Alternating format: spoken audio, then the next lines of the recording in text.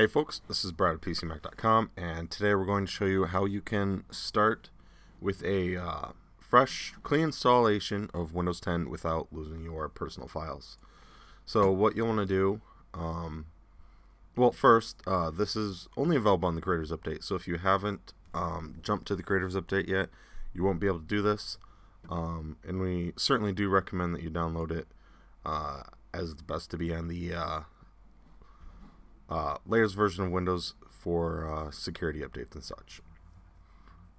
So, once it's downloaded and installed on your PC, you'll want to open the Start menu, click on this Settings gear icon,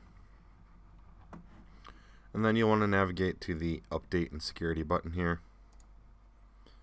and then you'll want to click on this uh, Recovery tab in this navigation pane. Once you're here, you'll want to click on this link here, learn how to start fresh with a clean installation of Windows. Um, it will close the settings app and open the Windows Defender Security Center. Now, this what it's called is uh, Fresh Start. Basically, you can start with a clean and up-to-date installation of Windows. Uh, start fresh by reinstalling and updating Windows. It'll keep your personal files as well as Windows settings and remove most of your apps, including Microsoft Office, third-party antivirus software, and desktop apps that came pre-installed on your device. Um, and when it's talking desktop apps that come pre-installed on your device, uh, it's basically that uh, bloatware that, say, Dell and Asus and Acer push on their uh, uh install on their uh, machines for you.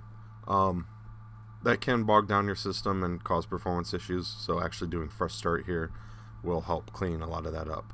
So it's as simple as pressing the get started button